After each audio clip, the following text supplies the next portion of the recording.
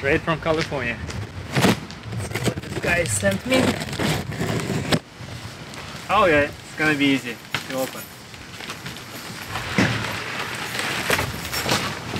A couple of my friends were receiving different boxes from different surf shops and so far um, I think we have two boards uh, with some came with some dings uh, first was lost and then the second one was from Hayden so both boards we got some pretty bad dings.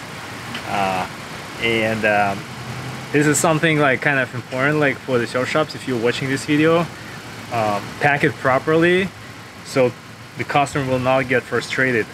Because like it takes time to repair the board and yara yara yara so for instance this board came from Los Angeles. See how they pack like they put like a really nice bubble wrap. Um, but the best packaging um, is coming from Album they use Hexiflex uh, it's like basically uh, eco-friendly uh, material and uh, you can just reuse it like for traveling. It's pretty light and uh, pretty safe for the board. Well, let's try to unpack this one. Oh, and uh, and the Rob Machado surfboards. You get a custom, you should not worry about any dings.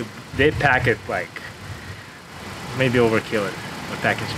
So this is something that I tried to order once.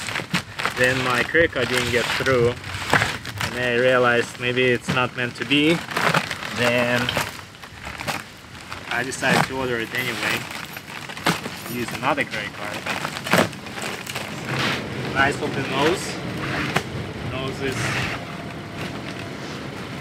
clean no dings alright they put the pins in. Spots so pins from Britt Merrick. Specifically designed for Channel Islands twin pin. Tail safe. I think that's how all the boards should be packed.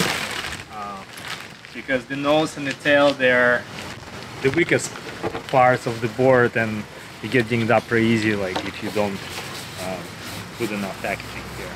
This is 6-1 Channel Islands twin pin has 34.8 liters of volume and uh, this board came from the cooperation between Mikey February and Channel Islands Britt Merrick uh, worked on this board for a while and uh, they say it's supposed to be working in most conditions so we'll test it out see how it goes uh, I think it's uh, primarily needs to be surfed in bigger waves but I hope it will work in some um, godless waves on the east coast.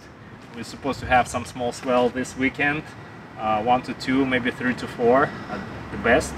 So we'll see. Um, gonna do review on this board. Uh, love the rails, pretty light, uh, to be honest. Really nice rocker, so we can handle really steep, steep, steep, steep, steep, steep waves. And a little lift in the tail. So, and Brits say that it doesn't have concave, only V, which starts right up here and goes all the way to the back. So it's supposed to go rail to rail uh, really well. Well, we'll see. I mean, sometimes they say stuff and doesn't work. Well, I'll let you know. Yeah, let's. Thank you guys for watching. If you like my reviews, please subscribe. Hit the like button, subscribe button, notification bell to not miss the next episode. Thank you guys for your support and until next time, bye.